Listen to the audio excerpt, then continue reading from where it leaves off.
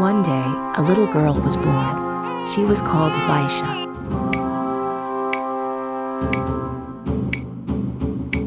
Little Vaysha had been born with a left eye that only saw the past and a right eye that only saw the future. Vaysha the blind girl, this was how everyone came to call her.